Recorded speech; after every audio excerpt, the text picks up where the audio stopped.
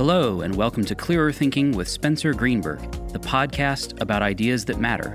I'm Josh Castle, the producer of the podcast, and I'm so glad you've joined us today.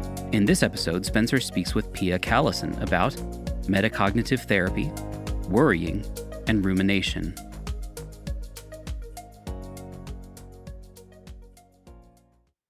Clearer Thinking listeners may also enjoy the Jolly Swagman podcast, which we're doing a cross promotion with. Despite its mysterious Australian title, the show features mostly British and American guests.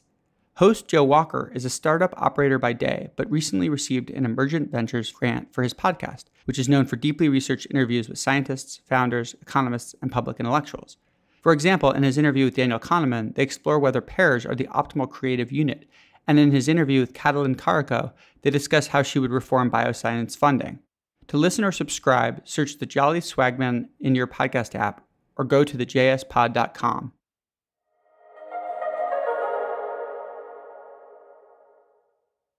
Pia, welcome. Thank you. So many people in their lives will experience mental health disorders, whether it's anxiety or depression. And even if they don't experience them themselves, they're very likely to have friends or family members or other loved ones who experience them. So I think it's a really relevant and important question of how do we best treat mental health challenges? And I know that you have a particular perspective on this question that I'm really interested to dig into. And in particular, I know that you're a proponent of metacognitive therapy. So why don't we start with what is metacognitive therapy? Well, metacognitive therapy is actually a new uh, paradigm in psychology um, where we can we understand and treat depression and anxiety in the in a quite new way. Um, norm, when we're used to uh, thinking that, that thoughts are very important and you have to think positive and so on to to have a happy life and to not be depressed, but really thoughts do not matter. And what metacognitive therapy teaches us is that it's not the thoughts themselves. You can have a very pessimistic mind. You don't need to be depressed, even though you think negative about yourself or the world. It's what you do with the negative thoughts that matters. So it's your metacognitive beliefs about, uh, you know, can I leave the thought alone if it's very negative? Do I have to work on the thought?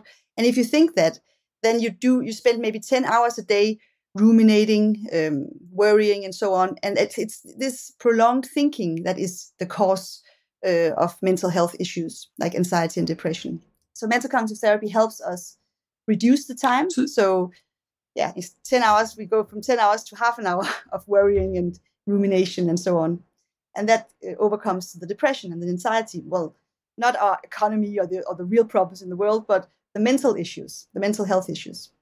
So let me make sure I understand that. So you could have two people, let's call them Alice and Bob, and Alice and Bob could both have a whole bunch of negative thoughts, but Alice might have a certain view on her own negative thoughts that makes the makes it much worse for herself, where Bob maybe has a different perspective on the negative thoughts. So yeah, could you elaborate a bit on what is the different perspective that they might have?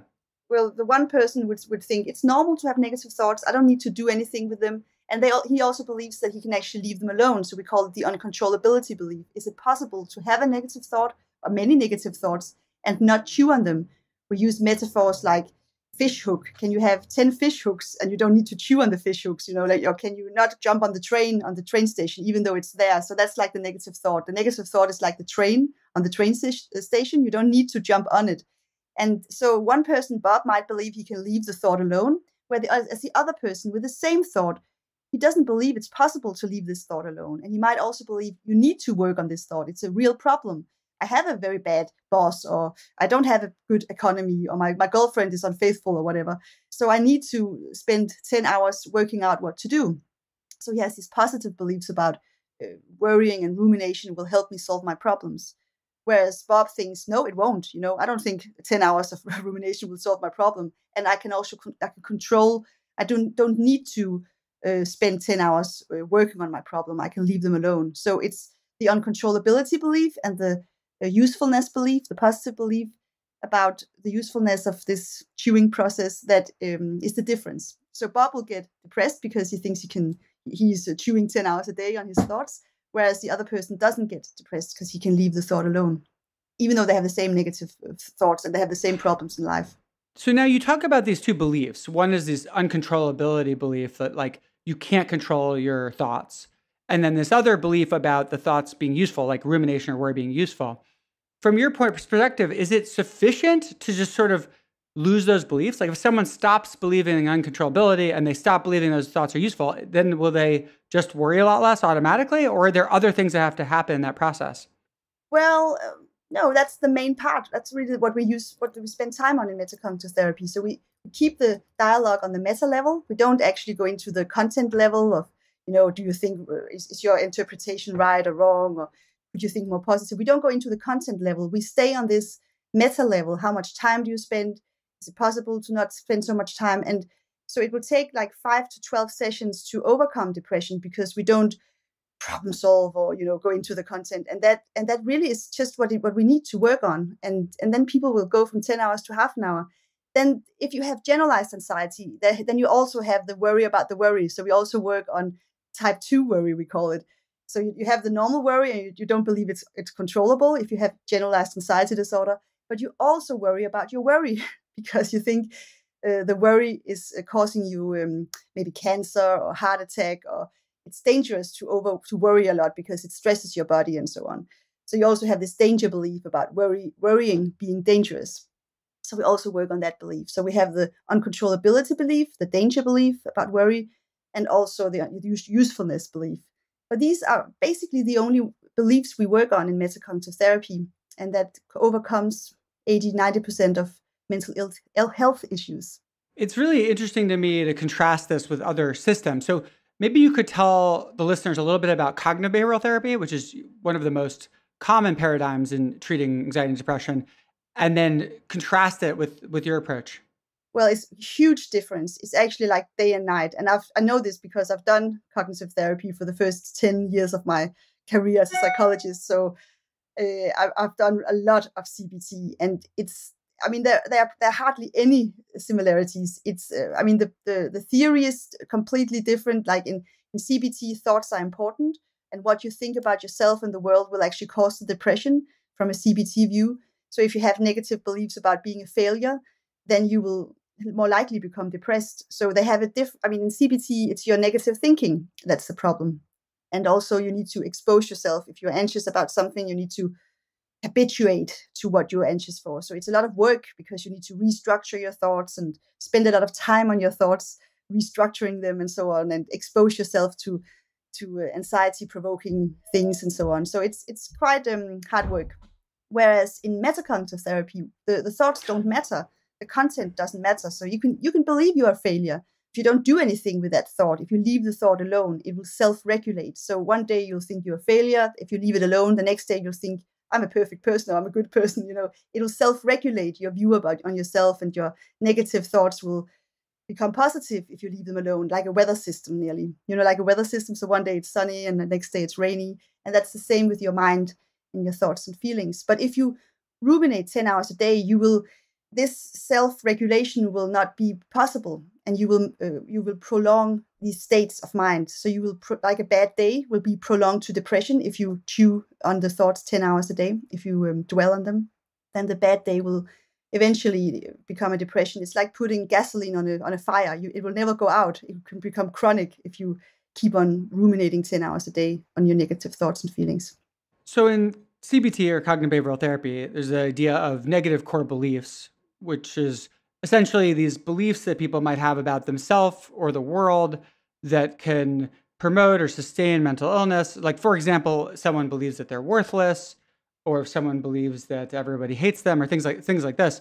And it, it seems to me that I wonder if you agree with this, but it seems like metacognitive therapy, you could maybe view it as focused on certain negative core beliefs and, and sort of claiming that there are certain negative core beliefs that are the ones that actually matter, which are beliefs about belief I'm wondering, do you accept that framing? What you think about yourself doesn't really matter because that changes from day to day. So your the view of yourself, and, and I mean, if you don't uh, worry or ruminate so much and have internal focus, your view on yourself will will be will yeah change by itself. And I actually we, we actually did the study in my when my PhD I did my PhD and and the interesting most interesting finding to me was actually that the core beliefs the schemas were more changed in metacognitive therapy than in CBT. And that really surprised me because in CBT, uh, just very shortly, my, my PhD was a randomized trial. Half the people got CBT and half the people got MCT, metacognitive therapy. and uh, and then we we evaluated the effect on different uh, on different assessment f- uh, forms like um, core beliefs about yourself, the cognitive forms, but also metacognitive thought forms about the metacognitive beliefs. But the most interesting finding was that if you change the meta beliefs, the metacognitive beliefs, your core view on yourself changes more than when you actually work on the core beliefs like you do in CBT. And that really surprised me.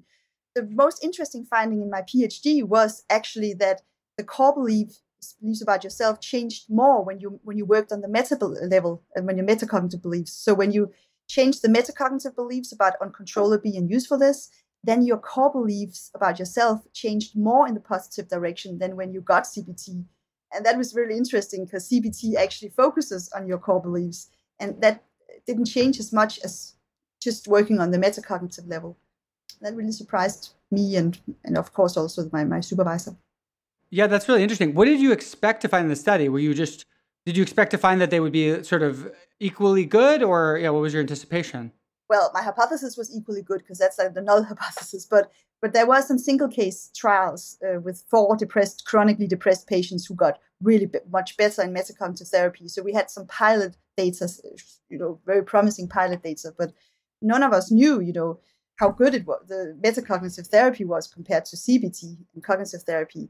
So 50% was uh, recovered in cognitive therapy, but it was 74% in metacognitive therapy, which is the highest level of recovery uh, when it when it comes to depression ever reported in any trial. Really, it was 80 in each group, 70, 80 people in each group, so it was, it was very very well powered. It's really good.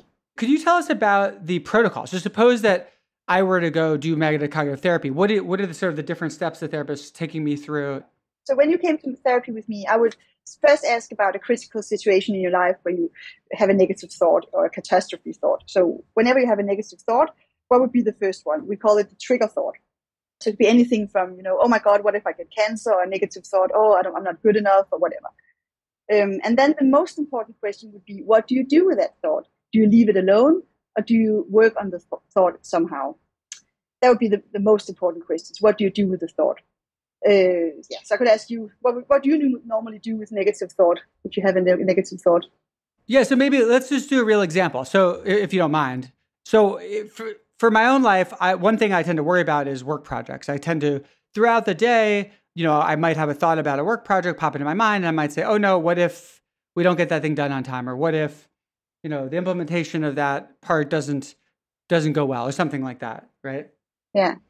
And do you just leave that what if alone, or do you kind of plan what to do if that what if happens? So do you go into planning mode and then I will do that, and what if that happens, and I will do that. So like a planning mode. No, I think I do tend to go into a kind of planning mode, like thinking more about that project, thinking about well, what would happen if you know it didn't go well, you know, stuff like that. So that would be the the thinking. That would be the we call it the cognitive attentional syndrome, which is the if you do that too much, then you'll have symptoms, stress, anxiety, bad sleep, and so on insomnia. So, so I would ask, so how much time do you spend? I mean, is it just two minutes, or would you spend the whole evening, the whole day, doing this what if planning? Um, so, how much time would you spend on that? That would be the next question. Right, and I think for in my particular case, I think what happens is I might spend, you know, a couple minutes thinking it through, but then I'll be on to the next thing, you know, like I'll, I'll be, go back to work or whatever. But that that might happen many, many times a day. So there may be many instances of, yeah, so, I mean, so, that, that in itself is not a problem. So, worrying, we all do that. But then you have the metacognitive beliefs, and they are important. So, so that would be the next question. So, do you believe it's it's possible to control? So, could you, you know, do it more, do it less? Is it? I mean, is it possible, you know, one day to do it to ten hours, and the next day just to not do it at all? I mean, can you can kind of self? Is it under your control how much time you spend doing this process? So if you wanted to, could you leave the this alone? If you, if you like, I say, I gave you uh, a hundred thousand, uh, over a hundred uh, dollars. Could you then leave it alone if you wanted to one day? Yeah, it's really interesting because I feel like I can't control the thought popping into my head, like what if this thing goes wrong? But I, I feel like I could learn to say to notice, okay, I just had that thought, and then not stick with it. Exactly. Very, very good observation. Yeah. Yes, that's a really good point because no one can control the popping up. The trigger thought is uncontrollable. That's completely right. But what you can learn, and that's what we actually focus on in metacognitive therapy, is your reaction, your your answer to the trigger thought, not the trigger thought itself. So the answering part. And that's actually not many people know this, but that can be that is controllable if you answer it or not, if you leave it alone. So um, yeah, that's the uncontrollability. Can you leave this thought alone? And and then then we will work on getting to a point where, independent of what happens, you you have a, a choice. You can leave it alone if you want to. Then I would ask about usefulness. Do you think it's useful to spend ten hours worrying and planning, and, or do you think you'd get the same success level if you only spend less time, maybe five minutes? Have you ever wondered if you have what it takes to be the founder or CEO of a successful startup? It takes a wide range of skills to run a successful business. Fortunately, Clearer Thinking has developed a quiz to help you determine if you have what it takes to start your own company. They've assembled the wisdom of some of the world's most experienced entrepreneurs and venture capitalists, gurus who have started multiple companies themselves or advised hundreds of companies. And that compiled wisdom includes information about the most important traits and skills that must be embodied in top entrepreneurs to achieve startup success. They then boiled all of that down into a simple quiz that you can take for free. Take the quiz to find out how well your personality and skills are suited to founding a startup, how much you know about starting a successful company, which famous startup CEO you're most like, what your greatest strengths and weaknesses are, what to look for in a co founder, and what areas you could work on to improve your chance of success. To find the Entrepreneur Test, along with many other tools and mini courses, go to clearerthinking.org.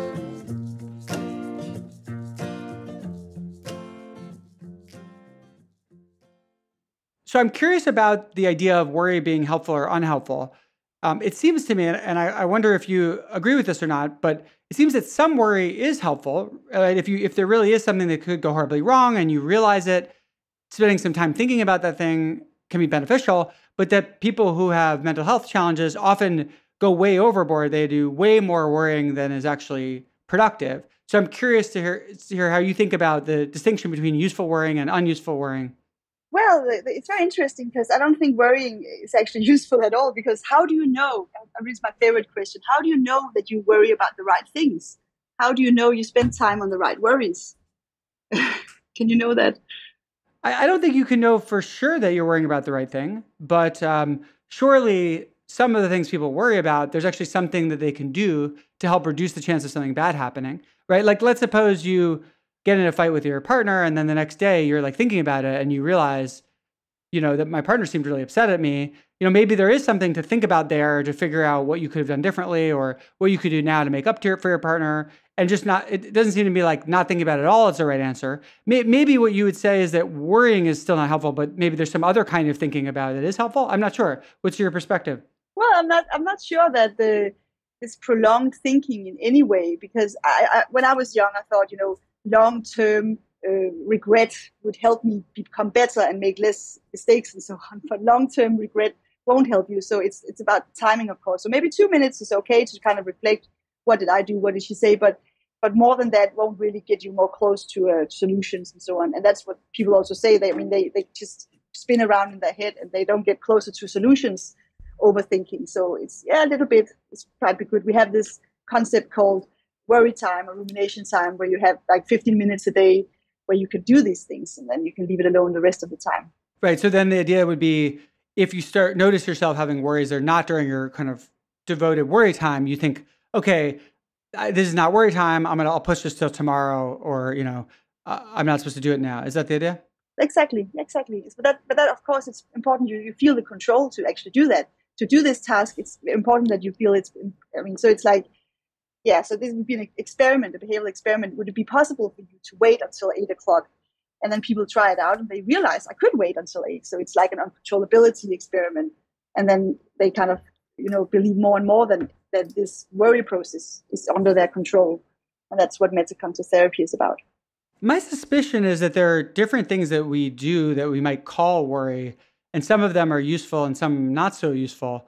For example, let's let's go back to the example where say you had a fight with your partner and it kind of went badly, and the next day you're thinking about it. It seems to me that there might be a useful exercise to do around that. It may take more than two minutes. Maybe it take 10 minutes. Maybe it takes 15 minutes where you're kind of analyzing carefully, like, okay, what was my contribution to the problem? What could I have done better? What was their contribution? What could they have done better? And what making a plan for what you want to do going forward. And so that, like, that kind of procedure seems useful to me. But that might differ from what most people are doing, right? Well, not not really, not really. I think the, the main difference between you and the people who become you know depressed or anxious, it's the metacognitive beliefs. So you so even if you a happy worrier, we call them happy worriers, and I think you, you sound like a happy worrier, and that's someone who who only has the usefulness belief. That if you only have the positive beliefs about the usefulness, you won't get a mental illness. It needs the negative beliefs. You need the uncontrollability belief and the danger belief if you really want to become uh, depressed or anxious. So it's it's all about the negative metacognitive beliefs. So if you're a happy worrier who only have the positive beliefs, like it sounds like you have, it's useful, in some extent it's good. You need to analyze. I mean, then you then you won't uh, become depressed because you only have the positive metacognitive beliefs. But it takes the negative metacognitive beliefs, the uncontrollability and the worry is dangerous, it's going to make me stressed and give me a heart attack. It takes those beliefs, and they, they are the beliefs that differs from i mean that that's why you don't get anxious because you still worry you still analyze you still ruminate but the, you're you only have the positive metacognitive beliefs about the process. Just to clarify i do feel like i i stress myself out needlessly. I don't think yeah so i, I don't want to say that like i'm not excessively worrying. I, I do think i am a worrier type personality and i think i worry more than i ideally would and and it causes stress for myself. So I just want to clarify that. I think on the margin, I would be better worrying less. Yeah. Okay. Okay. So could you yeah. do that? I mean, I, could you easily yeah. do that if you wanted to? Could you could you make that choice easily I, and say, well, I'll do it less? I think for me, the challenge is that is catching it when it's happening, right? So if I notice, like if a worried thought comes up and I notice, oh wait, I'm you know having a worried thought now, I, I feel like it's pretty easy to just kind of let that thought go it's like I don't get too stuck in it. But the problem is like that's happened to me many times a day, and so it's sort of like you're just get, getting so many things thrown at you, and it's hard to notice. Oh wait, I'm worrying now. So I'm curious. Do you have exercises you use to help make people increase that awareness of like, oh wait, I'm starting to worry now, and catch themselves in that moment? Well, worry is useful. I mean, that's two, that's two different main processes. The worry is more the future oriented, where what if, what if, what if, and that's usually not unconscious. I mean, that's you, you, you notice straight away because you get symptoms like heartbeat and so on. So worry is usually very, um, you, you're aware of it straight away, usually, that now I'm worrying. It's more the rumination that is like slowly moving into you, and you can maybe ruminate for four hours before you actually realize, oh, I've been ruminating for four hours. You know, the, the past oriented, the dwelling, the what, what, why did I do that? So there's two, I mean, the why did this happen? Why am I feeling like this? Uh, and that is more uh, not very conscious. That can be, you know, the unconscious. The rumination is so that we have some exercises like attention training and so on that will increase your awareness. But the worry process, the what if process, that's usually not very. You're not unaware of that because it gives you physical symptoms and you know you're doing it when you're doing it. Usually. So just to clarify, is the distinction you're drawing between rumination and worry is just that rumination is about the past and worry is about the future, or is there other differences there? Yeah, the difference is rumination. The, the the function is finding solutions. So why is this happening? Why should I? What? Why do I feel this way? Why do I feel so depressed? So it's more like why or what should I do? How should I solve this problem? Uh, whereas the worry process, the, the function is more to be prepared and to kind of you know prepare yourself to different future scenarios. So there's different functions and goals in the two processes. And the difference is also how aware you are you know, because rumination is usually you're not very aware of it. So if I have a, a, depressed person, they don't say, I'm a ruminator. They never say that. So if I ask them, what's your problem? They say, I feel low, I feel low mood and so on. And if I ask them, how much time do you spend ruminating? They'll usually say, I don't spend any time. I just feel low. And they have very low awareness about the rumination. They just don't notice they're doing it. They, they, would, they would never say, I'm a ruminator. Whereas the anxious people, the, the people with anxiety, they would usually say, I worry too much. I'm a worrier. I worry all the time. They have much more awareness of this worry process than the depressed people have. So that's just to you know differentiate a bit there. I see. Yeah, that, that's really interesting. So maybe we should talk about some specific problems people suffer from and, and how um, metacognitive therapy addresses them. So maybe let's talk about low self esteem. How does that kind of come up in metacognitive therapy, and, and how would you work with someone who has that? Yeah, that's very interesting because that's the, the core beliefs we started off talking about. And we see them as uh, not uh, as stable like we do in, in cognitive therapy. So in CBT cognitive therapy, you see them as like stable internal, you know, beliefs about yourself, the world, and, and so on. But we don't see them as stable in metacognitive therapy. They are self-regulatory, so they will change uh, throughout you know through your life or even from day to day. So your self-esteem will, will the one day will be good. I feel good about myself, but then the next day you'll feel bad about yourself. And if you don't do anything with that feeling, it will self-regulate. So you'll have like um, unstable self-esteem, and that's the normal self-esteem. It's the the unstable one. The you know one day I feel good about myself, and the next day I don't. But if you ruminate a lot and and uh, work a lot on your self-esteem, and that's a paradox. so if you work on solving your self-esteem, you will actually prolong the low self-esteem, and that's the paradox in it. So I have a lot of people who have a chronic low self-esteem, and they've been doing loads of things to, you know, feel better about themselves. So they would do like diaries where they put positive events in the diary, or try to talk to themselves. You know, you're good enough, you're good enough, you're good enough, and so on. And um, they'll spend many, many hours a day trying to change their low self-esteem and it hasn't worked you know they come to metacognitive therapy and say well i still feel bad about myself and all these working on it and thinking positive and trying to think positive and so on. It just made, made me really uh, tired uh, and exhausted and hasn't changed my self-esteem. So then we start saying well would you be willing for the next week the next six weeks to do something else and see what happens? And most people are willing because i tried everything else. So we then invite them to leave it alone, the, the lazy uh, uh, approach, the detached mindfulness, which is the opposite of working on a thought. And detached mindfulness is not being thoughtless or emotionless, it's just about not working on the thoughts and emotions. So, uh, like the fish hook or the train metaphor, you, have you have the, the fish hooks, you have the train, but you don't do, you don't do anything with it. And then they, they usually say, well, I'll try it, try it out. And then you, uh, whenever they feel bad about themselves, they practice leaving it alone or postponing or ruminating about it. And then they, they realized, well, it was, uh, you know, changing by itself. So if they don't work on the self-esteem, they will naturally feel good about themselves one day, some of the days and have a normal self-esteem. That's the metacognitive way. The way you describe this reminds me a little bit of acceptance and commitments ther- therapy, also known as ACT, where you take the thoughts that you're having and you kind of uh, as as far as I understand it, in ACT, you view them sort of from an outside perspective. Uh, you know, one metaphor is like you treat your thoughts like they're just leaves floating by on a stream, right? It's like, oh, I had the thought that I'm a shitty person, and I had the thought that I have cancer, and you kind of just observe the thoughts, let them float away. A very kind of mindfulness based approach, and I'm wondering how you how that relates to the metacognitive therapy approach. Mm, well, some of the metaphors you just described there, some of the it gives the people idea that it will float away. It'll it'll like uh, you know move on, and we don't um, we don't actually have these. I mean, it, it, I mean, in metacognitive therapy, the goal is not for thoughts to move on or to.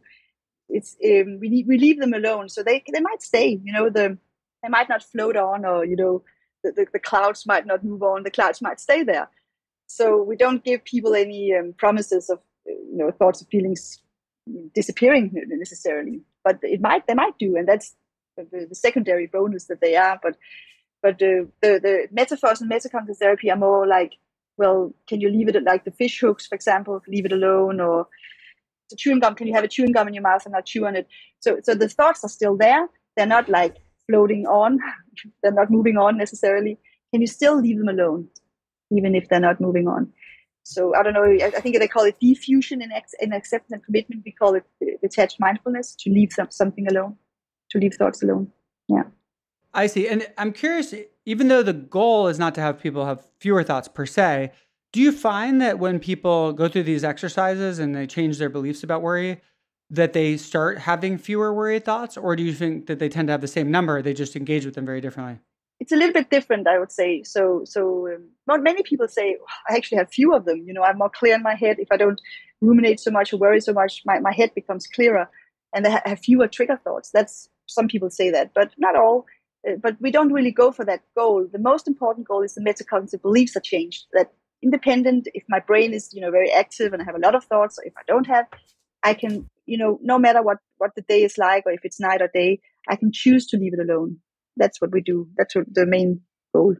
Another thing that I think confuses me a little bit about your approach is that some problems arise from things in the world, right? So take for example someone who's in an abusive relationship and you know they come to your office and they're worrying all the time but but let's say their partner is really treating them horribly and beating them up and all the kinds of things, right?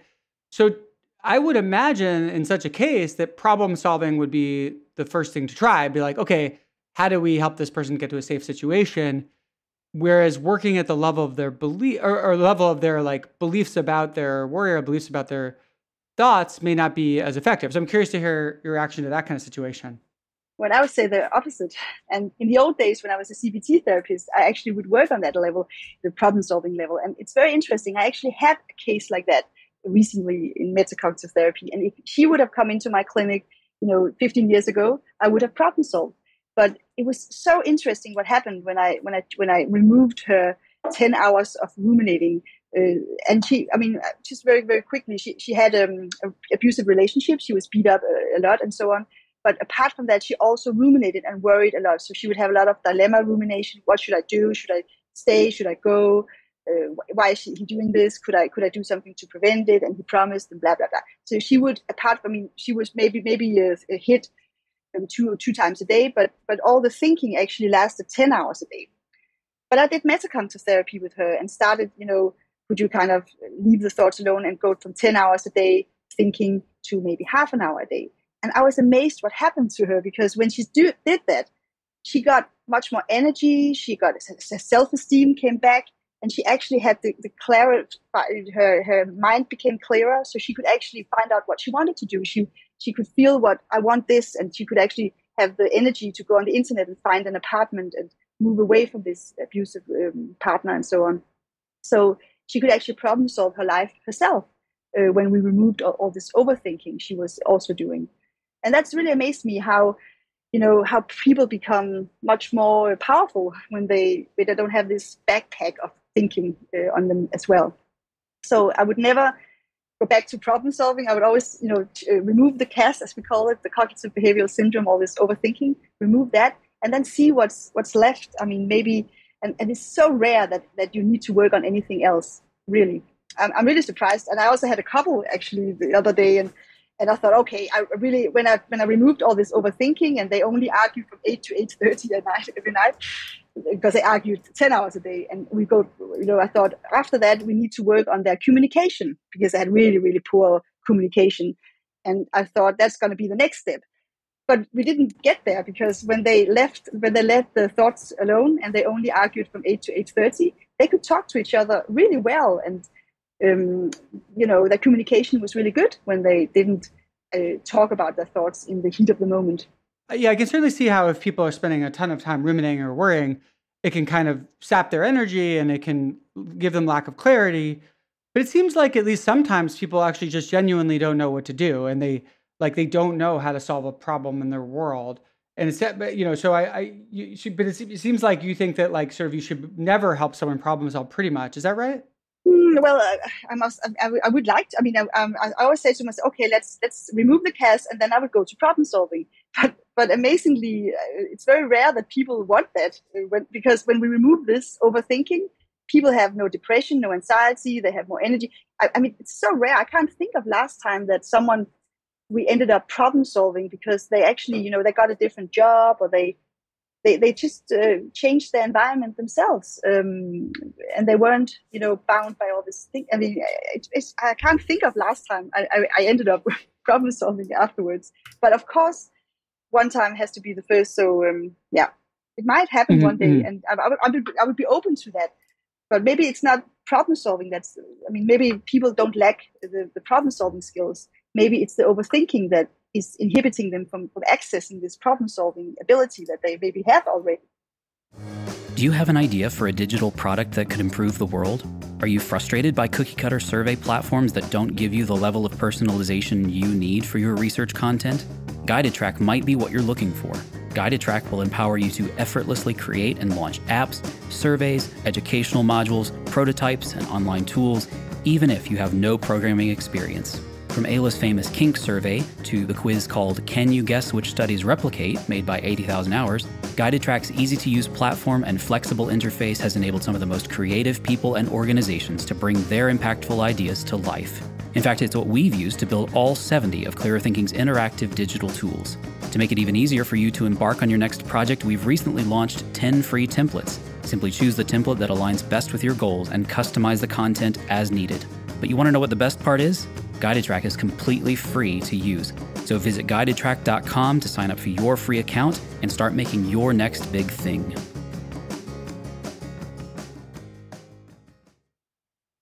Let's talk about the belief side of this too, because you know, an example I've seen in my own life is where someone seems to genuinely believe that they're worthless. And if you if someone believes they're worthless, it's very natural to see why they might feel unhappy all the time. But it sounds like somehow, from your point of view, somehow their their rumination is actually like is like keeping this belief in place. So maybe you could just unpack a little bit more. How is it that stopping the rumination like like frees up this belief to change? Because it, i don't know it doesn't doesn't that connection doesn't seem totally obvious to me. Well well now usually i would say i'll normalize the feeling. I'll say well i feel uh, shitty uh, sometimes too. I also feel like i'm not good enough i'm a failure i'm, I'm a hopeless person. That's normal uh, human feeling. We all feel that once in a while. And that's surprise to many really a surprise. Really is that possible to i mean do other people have that uh, beliefs once in a while?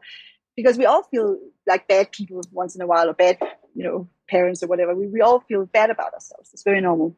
And then the next question would be so when you have that feeling like it's a human natural human feeling what do you do with it? I mean what have you done today with it and then you always find this uh, working on on the thought uh, so people would say different things uh, like i'll try to push the feeling away i would uh, try to calm myself. You know, I would ask someone, "Am I good enough?" You know, to seek reassurance. So people do different things to this uh, this belief, and it's all this doing that uh, you know actually all the problem solving that is maintaining the problem somehow. So um, yeah, and then the next question would be: Have you ever tried for a week, maybe, not to problem solve this feeling of not being a good person or a bad person?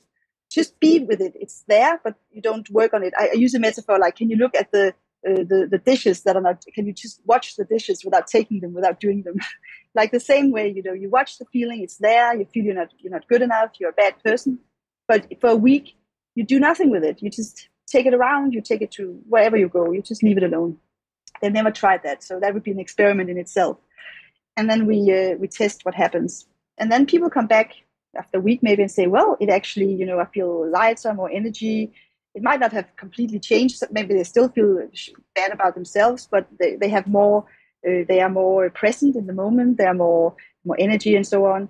And some people actually also say, well, some days it, I, forgot about this feeling because I was so absorbed about other things in the real life that I really forgot about the feeling about being a shitty person, a bad person.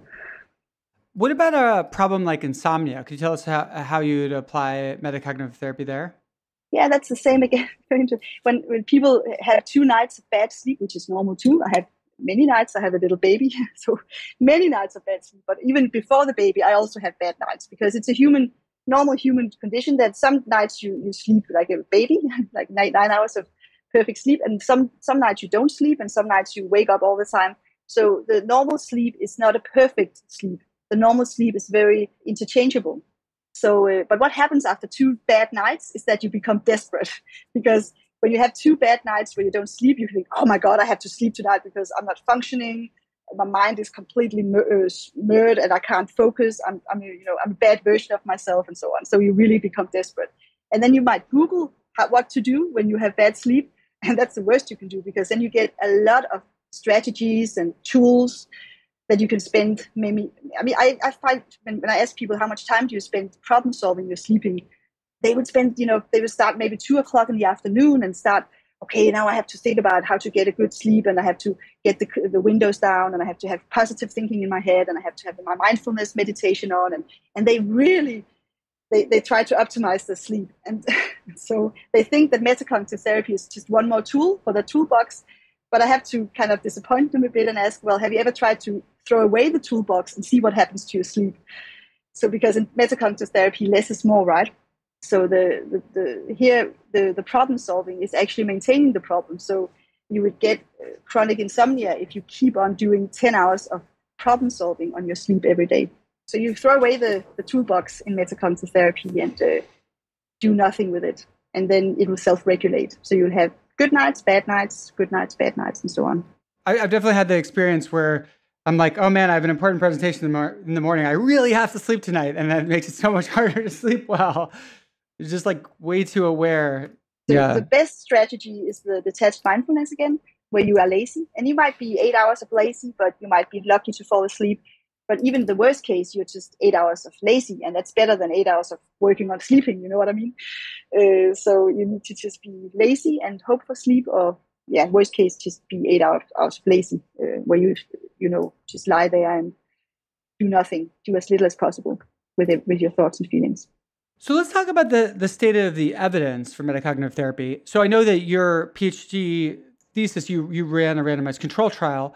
What other work has been done pitting it against a control group or pitting it against other techniques? Mm, well, at the moment, the, the, the large uh, diagnoses like GAD, generalized anxiety disorder, OCD, PTSD as post traumatic stress, depression, and so they, they have had large trials, both with control groups and uh, CBT. And the generalized anxiety trial, where they compared CBT um, to MCT, they actually had a nine year follow up, which is really unusual. It's very incredible to have a nine year follow up, which is amazing.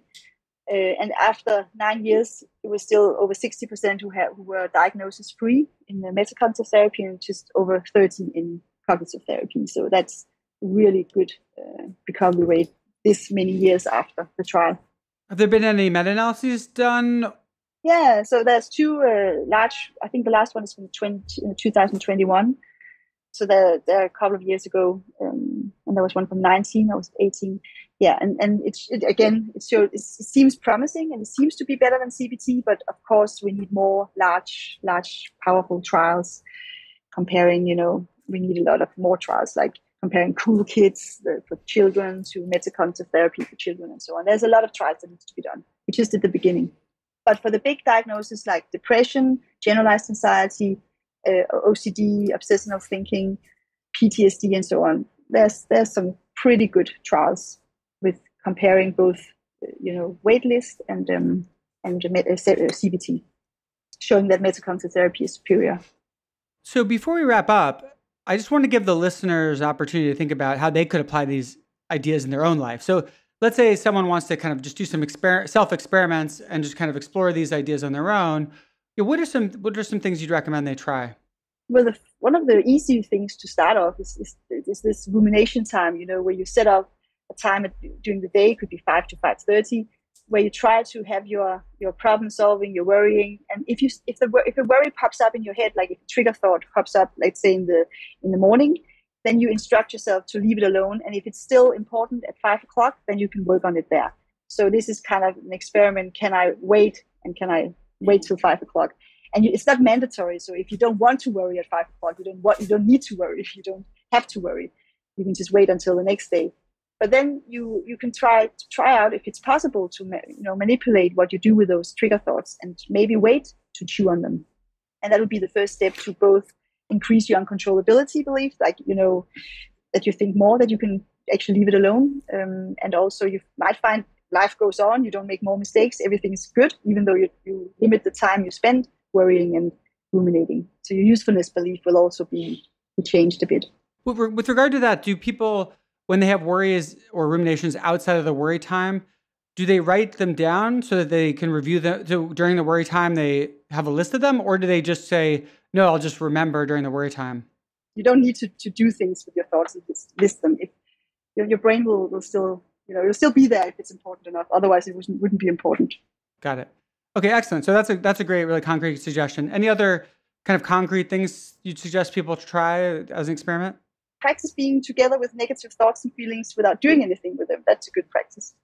And, and can you elaborate a little more on like what that looks like to not do anything with it? Is it mean just sort of go think about something else? Does it mean it's just mm-hmm. being lazy? So you're you're you don't have to you know move your attention really. You just you know just uh, you know it's there but you don't do anything with it it's like the dishes again it's there you know but you don't do anything with it you right. just you feel it's there like a mosquito bite you feel it's itchy and it's there but you don't you don't scratch it got it right so so it's like if i have the thought oh no what if we don't meet this deadline right the next thing would just be just sort of stop that pr- process but there's nothing in particular i need to do just say okay exactly and then and then yeah, you yeah. see and then you'll you'll you'll the day after it'll be self-regulated it'll self-regulate. Yeah, it's really interesting, and it, and it's it's a um, I find it especially interesting how it contrasts with the cognitive behavioral therapy approach, where cognitive ther- behavioral therapy says, no, you want to engage with that thought, you want to sort of maybe you consider the evidence for that, whether that thought is true or not. Maybe you rewrite the thought into you know try to come up with a more helpful version. And this is saying it's like almost the complete opposite. It's like nope, just stop right there. You don't need you don't need to engage. Yeah, yeah, yeah. It's the complete opposite yeah. of CBT. Yeah, it is, and it, and it's it's that's why it's a paradigm shift. It's a, the opposite approach than than most other therapies, including CBT. Because in other therapies, you spend time working on thoughts, changing thoughts, changing emotions. Uh, so it's the opposite of most therapies. Fantastic. Pia, um, any last things you want to say to the listeners? Just uh, hope that people will get interested in metacognitive therapy. There's not that many uh, in the United States, unfortunately. Uh, but I can send a list of um, where, because you need to have a proper educated metacognitive therapy. It's not enough to just listen to a podcast and then you can do metacognitive therapy. So if you want someone who's been trained with Adrian Wells, Professor Adrian Wells, who developed the therapy, you want to find uh, the person on a certified list um, of these. Yeah, and uh, I can send you the, the list of these different around the world people who have been trained with him. Fantastic. Yeah, we can uh, add that to the show notes. Pia, thanks so much for coming on. This was a really interesting conversation. Thank you so much for inviting me. Thanks again for listening. We always love to hear from our listeners, so if you have questions or comments for us, just send us an email at clearerthinkingpodcast at gmail.com. This episode was edited by Ryan Kessler and transcribed by WeAmplify. Uri Bram is the podcast's factotum. If you like our show, then we'd really appreciate it if you could rate and review us wherever you get your podcasts and tell your friends about us on social media. We also hope you'll subscribe to our email newsletter called One Helpful Idea.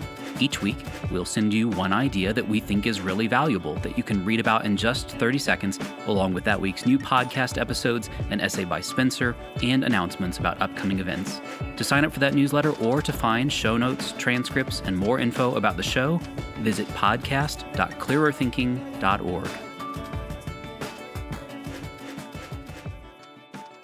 A listener asks, What are the most important problems psychologists should be working on?